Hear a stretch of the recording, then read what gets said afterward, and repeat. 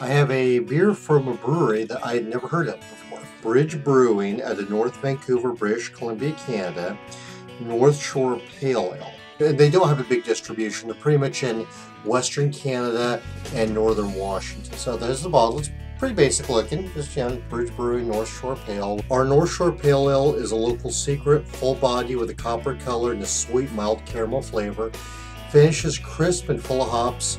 It's highly drinkable approachable. Now down here, you'll see there's a basic profile. Well, it's kind of blurry, but that's a basic profile of what's in it. It says brewed with wa water, Cascadian, Canadian, Pilsner malt, Crystal malt, I don't know which one, they don't say, Munich, Carapils, the hops are Cascade, Magnum, and of course yeast. I wouldn't expect it to be too dark, but since I don't know what crystal they used, I expect it to be a little bit malty uh, with full body because it has Carapils and they said full body. Carapils gives body and mouthfeel. Cascade and the Magnum hops, I'm expecting some citrusy, a uh, bunch of citrusy notes. 5.5% alcohol and 30 IBUs. It costs $5. This beer is uh, year round. Open the bottle can't see that. There we go.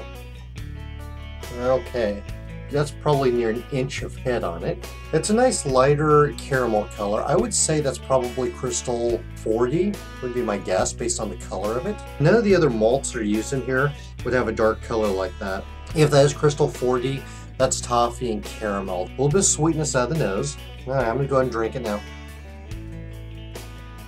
Candy sweet caramel toffee. All soft the palate. It hits my mouth and just kind of mostly stays on my tongue, but then just quickly dies down.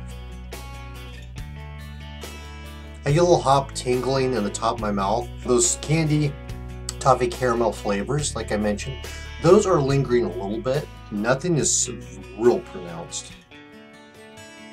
Tingling bitterness, tastes medium body to me. Most pales I have are not full body.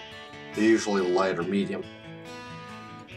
It has a good soft mouthfeel to it. Munich is going to be malty, so let's see if I get any maltiness out of it again. I didn't notice it. If there is any there, it's really soft. They may not have used very much in here. My guess is it has more crystal malt than anything. I'm not picking up anything else. No grain, no malt, no biscuit. Some of the, just the base malts like two row Pilsner, can, can give those flavors, just depends on your palate. I'm going to try the bottle now, see if it tastes any different. I actually get more hop notes from the bottle. I did get a hit of, of effervescence, of bubbliness, quite noticeable most on my tongue, a little bit off my mouth. The flavors cling to my tongue a little bit. I get the hop nibbling all over as I mentioned. Maybe a little bit floral in there, just, just touches of it. The glass gives me the flavors I actually wanted, those, those crystal caramel flavors. The bottle is giving me more hops. I was expecting the, the, the crystal and Munich caramel and sweetness and toffee and the, the malt to be more more pronounced on the bottle. No off flavors I can tell. There's no diacetyl acetone, paint solvent, nail polish. It does not taste skunk. No, no sunlight hit it I can tell. Fusel alcohols, nothing. Would I buy it again? Um, I won't just because I wanted more of the caramel candy flavors out of it. It's just a little too too hop forward for me. Would I recommend it? Uh, yeah, actually I would. It's alright. I don't think it's well-rounded. I don't think it's solid. Here's the bottle one more time. Bridge Brewing out of North Vancouver, British Columbia, Canada. Uh, North Shore Pale Ale. Okay, well, that's all for this review. Cheers.